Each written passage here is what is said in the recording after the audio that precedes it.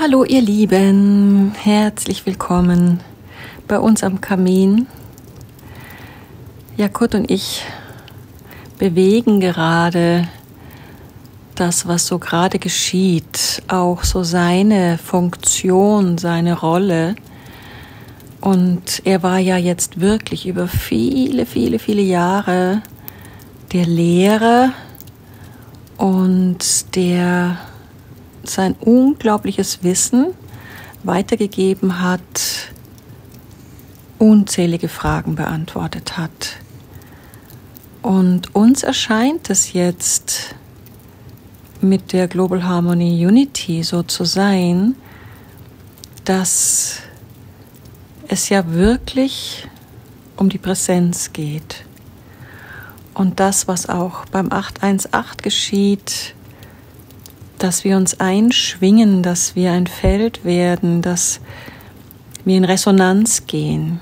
Und wir haben gerade uns darüber unterhalten, dass es ja bei Kurt keine Interviews mehr gibt, dass das alles ausläuft, auf diese vielen Fragen zu beantworten und dass es ja viel toller ist, in deine Präsenz zu gehen. Also ihr habt ja jetzt auch gelernt, wie wie es geht, also wie man sich einschwingt, wie man sich verbindet. Und ja, jetzt wenn wir jetzt dich, also Kurt, ich spreche jetzt natürlich mit Kurt und euch gleichzeitig, aber wenn, wenn, wenn sie dich nehmen als Referenzpunkt und sich auf dich einstimmen, dann ist man auf der Ebene dessen, wo du bist, als Bewusstsein, wo all das Wissen ist und bist letztendlich wie so ein Instrument für jeden, dass er das Wissen in sich selbst finden kann,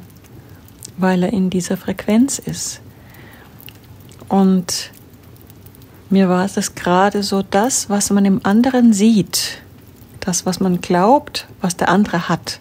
Oh, der weiß so viel, der ist viel mehr bei Bewusstsein, der ist viel weiter entwickelt das, was man also in dem anderen sieht, ist das, was in einem selbst darauf wartet, dass es sich jetzt verwirklicht. Und somit ist der andere nur Auslöser, dass es in mir jetzt sich verwirklichen darf. Und wir hatten gerade so die Idee, dass ihr jetzt auch Kurt oder wen auch immer nutzen könnt dafür, damit in Resonanz zu gehen, mit dieser Präsenz, mit dem, was jeder Einzelne dort sieht oder wahrnimmt, um zu entdecken, was ist in mir. Und der andere wie nur ein Referenzpunkt dafür ist, um es in mir zu entdecken dass es in mir sich verwirklicht. Vielleicht ist es tatsächlich hilfreich, mich zunächst als Referenzpunkt zu nehmen oder als Katalysator oder als was auch immer. Aber eigentlich geht es darum, das eigene Potenzial zu entdecken. Und es geht auch nicht um mein Bewusstsein, sondern es geht um das eine Sein. Es geht darum, dass ich erkenne, wir alle sind Teile dieses Einseins, dass wir also unser geistiges Erbe antreten und selbst zum Sprachrohr dieses Einseins werden hier. Und darum geht es, dass wir wirklich in die Freiheit kommen, niemand mehr brauchen, um etwas zu fragen, sondern dass wir alles in uns finden und dass wir uns als das eine Sein erkennen und in Erscheinung treten. Ja, und gerade durch das Feld jetzt der Unity wird das so sehr begünstigt. Und sich selbst zu fragen, was oder welche Person da draußen, die kann sogar sein, dass ihren Körper schon verlor, äh, ver, verlassen hat. Aber was sehe ich in dem anderen oder nehme ich in dem anderen wahr und nehme das jetzt wie zu mir und finde das im gleichen Moment in mir. Und was du gerade gesagt hast, dieses Erkennen, dass das eine Sein, das ewige Sein, das göttliche Selbst, wie auch immer man sagt, ja in uns allen ist, mit allem. Und dass es an jedem Einzelnen liegt, das für sich anzuerkennen und wie wieder zu sich zurückzuholen, um zu erfahren, dass ich das bin, dass alles da ist.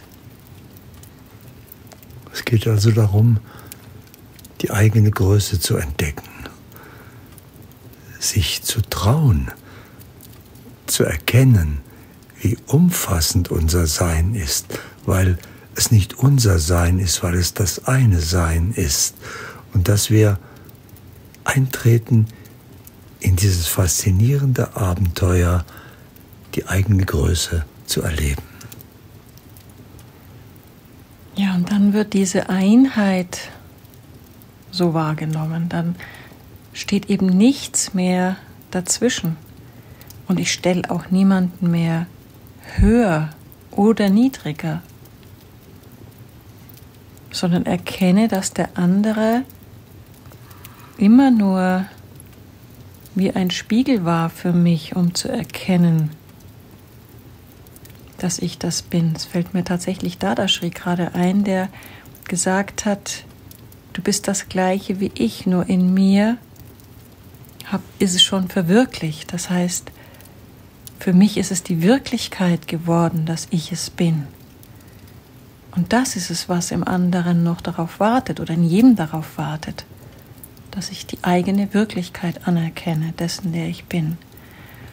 Und alles andere als Illusion oder als, ja, nicht absolute Wirklichkeit sehe.